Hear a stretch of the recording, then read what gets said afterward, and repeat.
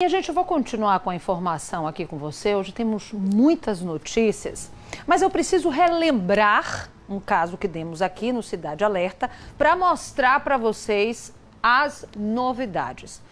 No dia 16 de novembro, uma família desolada com a Justiça Sergipana chamou a nossa equipe de reportagem para denunciar uma prisão que eles diziam ser completamente injusta.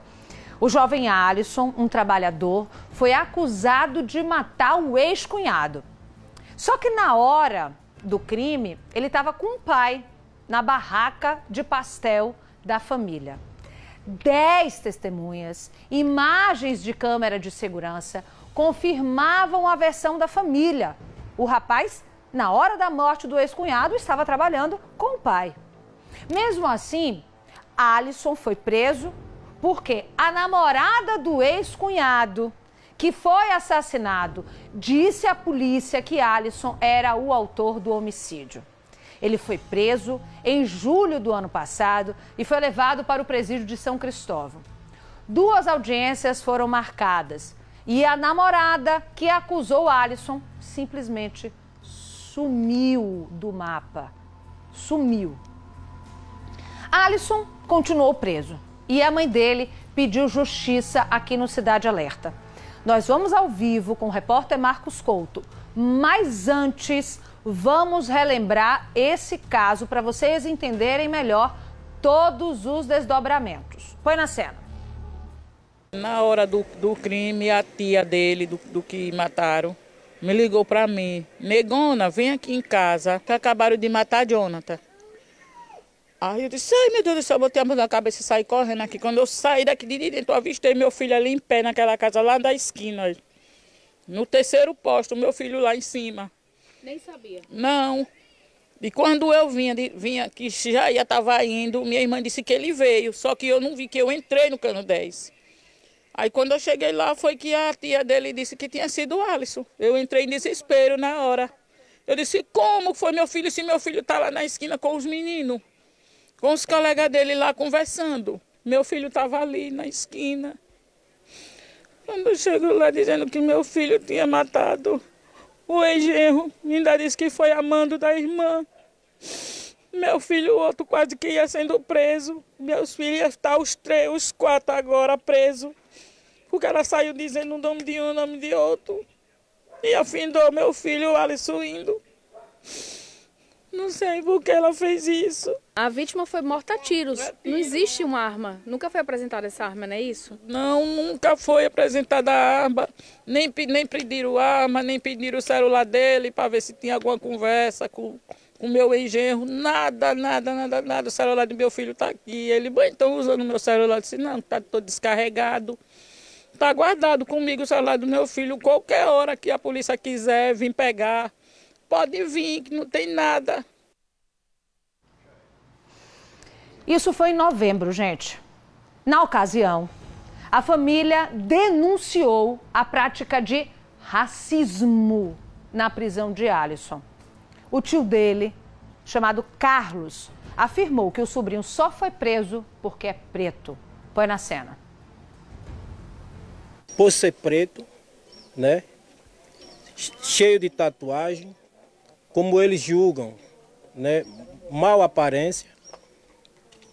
Então tá aí. Um ato inconstitucional, um ato fora do normal, fora do comum da lei, né, se a lei ela é comum, se ela está sendo mal julgada pelos que estudam a lei e está aplicando de forma errada em uma pessoa que não tem nada a ver com o crime, então está se dando a, a a relevância né, ao alto da, do que aconteceu, um ato de racismo mesmo. Gravíssima essa denúncia. A de racismo e a de prisão injusta.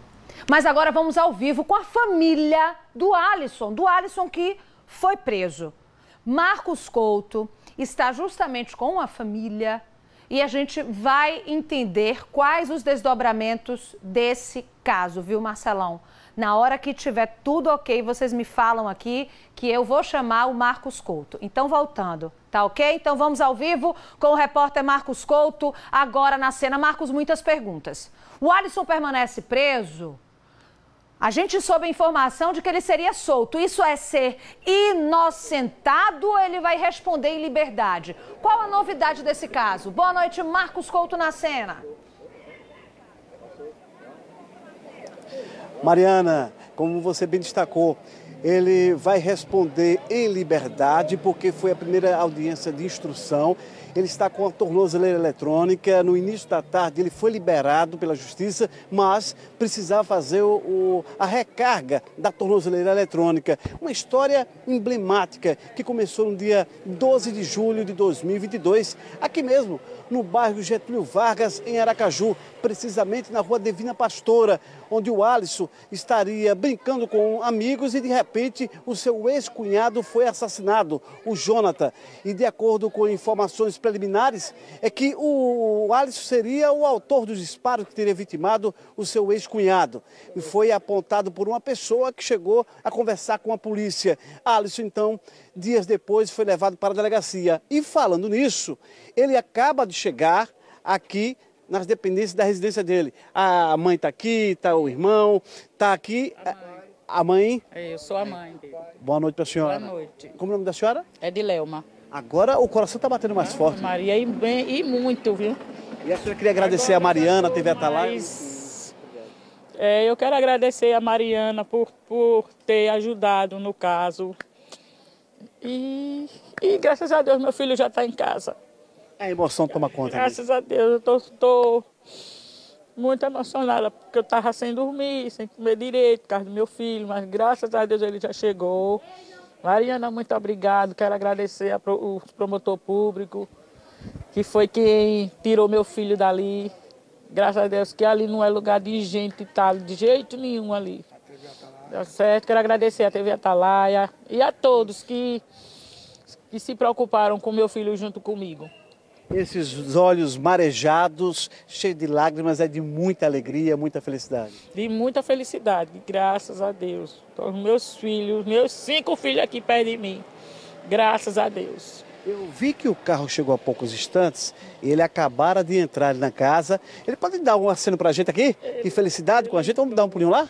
Ele entrou. Vamos lá ver se ele consegue falar, dar, dar um aceno para ele. Só um aceno, sem lá, mostrar o vamos rosto lá. dele, né? Sim, gosto de Vai costa. mostrar o meu também não, né? Não, como a senhora queira. como- Porque a gente não está querendo mais não, para não ter represária, sabe? Agora eu pergunto, é, ele vai responder liberdade, tá? Com a tornozeleira.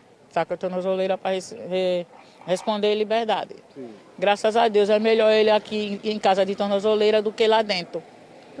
Pra- Para preservar ele, ele chegou agora também. Vamos deixar ele descansar, curtir um pouco com a Curtir um família, pouco. com a mamãe, Com com os certeza. amigos e familiares aqui. Com certeza. Com os, Ah, eu- os sobrinhos que ele Eu já pergunto tava à senhora, eu pergunto à senhora, ele foi liberado no início da tarde, mas teve que carregar a tornozeleira que estava descarregada.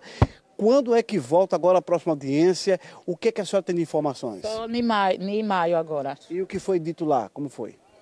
Para voltar? Eu, eu não entrei, não. Não participei da, da audiência, não. Só ele e, e os que foram os testemunhos só. Sim. Certo? Agora, Tem a história de uma mulher que possivelmente teria apontado ele como autor do disparo que vitimou o ex-cunhado, né? O Jonathan. E essa mulher permanece presa, está solta. Eu não sei, a gente está sabendo que ela está presa, mas a gente não tem certeza que ela está presa, Foi sabe? ela que teria apontado Foi o ela Alisson. que tinha aponta- aprontado ele. E por que isso? Ela porque tinha ci- ciúme de minha filha. Aí ela tinha dito a ela que ia se vingar dela, A sua filha era casada com a vítima, o ex-cunhado de Alisson. com a vítima. Com a vítima, uma pessoa muito boa, muito prestativa, andava aqui com a gente e tudo, um menino bom. Mas foi se envolver com essa mulher, pronto, foi o fim dele. Foi Olha, foi o Mariana, ela bastante feliz, está aqui. O riso é de um lado a outro. Olha o semblante dessa senhora, de uma mãe, de uma mãe sofrida. E ela fica à vontade à sua disposição, Mariana. E muito, muito sofrido, muito, sofri muito com meu filho ali dentro.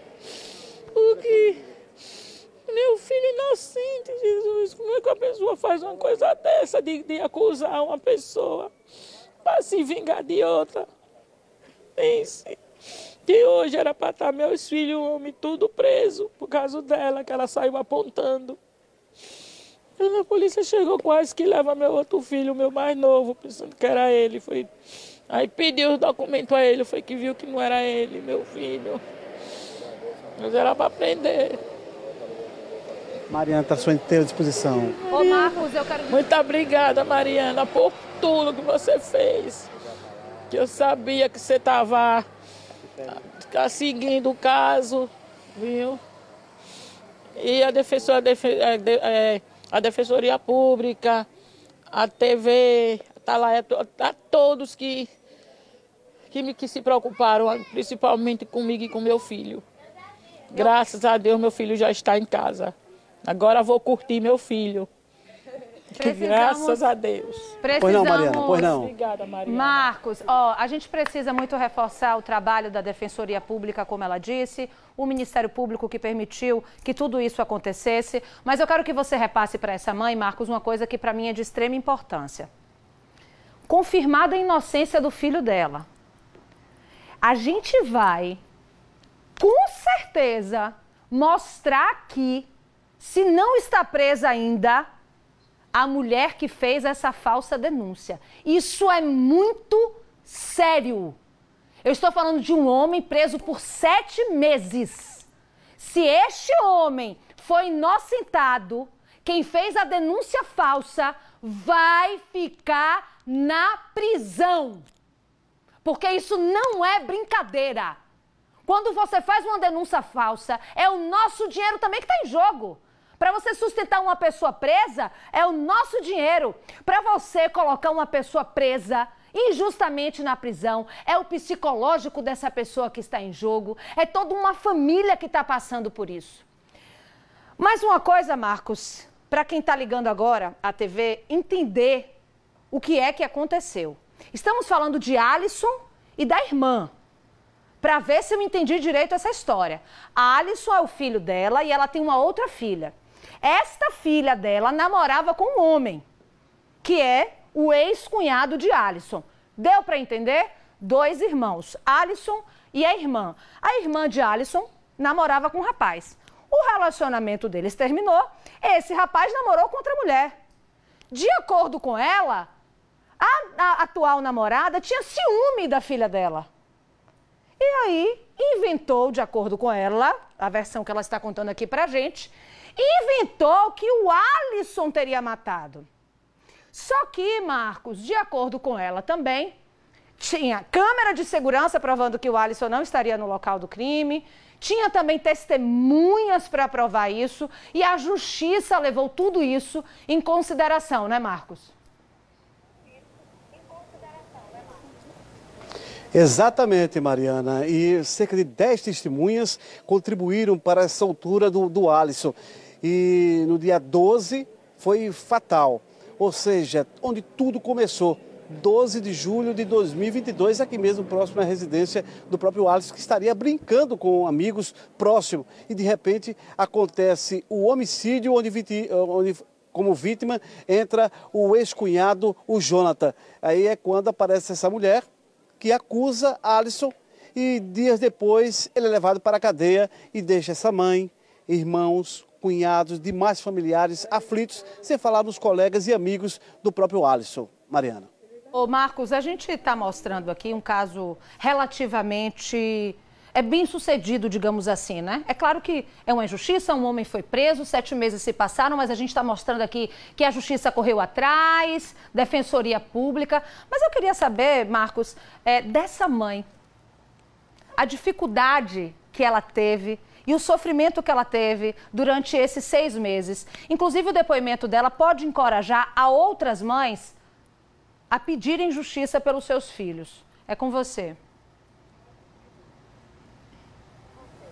Vamos saber da própria mãe. As dificuldades, essa via cruz que a senhora passou até agora. Como foi? É. do céu, como é que eu vou falar, meu Deus? Eu agora estou sem palavra. para descrever. Tirar a vida de um pai de família. De cinco filhos, quatro com a minha filha. Achava que meu filho ia deixar os, os sobrinhos dele órfãos de pai. Uma pessoa que não. Eu sei não, Jesus, eu não estou conseguindo mais falar. A gente entende. Ela não consegue, Mariana, como você mesmo deu para perceber, não consegue descrever. Não consigo mais falar. Eu só quero que a justiça seja feita para libertar meu filho disso, tirar, deixar meu filho com o nome limpo. Porque uma pessoa que entra num presídio, quando sai, não sai com o nome limpo. E eu quero a que a justiça seja feita. E eu vou fazer de tudo para limpar o nome de meu filho. Fé em Deus e que a justiça seja feita. Muito obrigada, Mariana. E a todos que se preocuparam com o meu filho e comigo. Em tirar meu filho dali, porque meu filho tentou se matar duas vezes. Duas vezes no mesmo dia que entrou na cadeia. Não, eu não sei como é que eu não estou sem meu filho hoje aqui. Mas graças a Deus, muito obrigada a todos, a todos que me ajudaram também nas despesas com meu filho ali dentro, porque não é fácil. Não é fácil, não. A pessoa tem que estar tá gastando dinheiro sem ter, pedindo a um e a outro para poder ajudar nas despesas dele ali dentro. Mas graças a Deus, Deus também me deu muita força para ver meu filho fora dali. Graças a Deus. Muito obrigada, Marcota. Você também, a vocês também. Muito obrigada. Agradeço muito. Dá muita paz para todos. Obrigado e conte sempre com a TV Atalaia, a TV dos Sergipanos. Mariana. Te agradeço. Vou seguir aqui, mas quero que você diga para ela que a gente. Ela tá falando alguma coisinha aí. Pode falar. pode falar, deixa ela falar. Pode falar, pode falar. É. Eu não perco o seu programa de jeito nenhum. A gente assiste, eu assisto todos os dias todos os dias o programa. Essa é a tia, né? É. Correu para cá para falar com Mariana. Aqui anda com a sua com a carteirinha, carteirinha de Mariana. Não perco de jeito nenhum o programa dela. Eu estou aqui, ó, na casa de minha irmã, e corro para assistir seu programa. Jamais eu perco seu programa. Perco não. Dona Edilma e Dona Edilelma fãs de carteirinha. Com você, Mariana. As irmãs Ed, as irmãs Ed, né, Marcos? Mariana. Toda, toda mulherada é da luta. Mulherada da guerra. Da luta. Tem o pai também aqui, o pai também ah, não tem um paizão aí também, ó. Querendo Esse aparecer. também entrou, viu? É, o pai também não perde. Como é o nome do senhor? Adilson Manuel Santos. Adilto, Adilto Manuel Santos. Adilto Manuel dos Santos. Sofredor, graças a Deus todo tabelo banco assim, mas ficamos livres. Eu não sei, não tenho palavra para dizer não. Porque é sofrimento demais. Sou pai, tem é pai, sabe. E uma coisa que não fez, depois de 55 anos, viver essa vida, eu não consigo mais nunca. Obrigado, Mariana, mas é muito sofrimento. Só ela que a gente passou para lá, para cá, o povo entra o cara pensando que a família da gente tinha batido. Não tem não. Ah, mostrou agora, atrás da senhora. A nossa família não tem bandido. Desculpa aí. E outra coisa, Mariana, eu quero justiça por Jonathan também.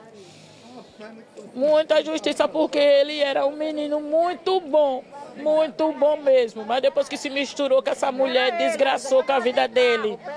Eu quero justiça por ele também. Obrigado, Adel, mais uma vez.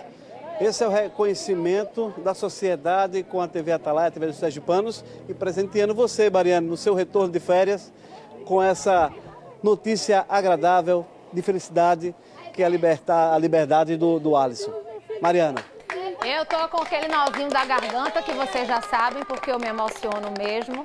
Não é fácil você ter um parente, enfim, como ela está dizendo, que nada fez está presa injustamente, mas é uma família de luta, é uma família de guerra. Que bom que vocês estão sorrindo agora, porque cada vitória a gente tem que comemorar, por menor que seja. Isso serve para você que está me assistindo também, viu? Não perca a oportunidade de comemorar cada vitória na sua vida. E óbvio, vocês já sabem, nós vamos continuar acompanhando este caso. Agradeço ao carinho de toda a família. Depois do intervalo.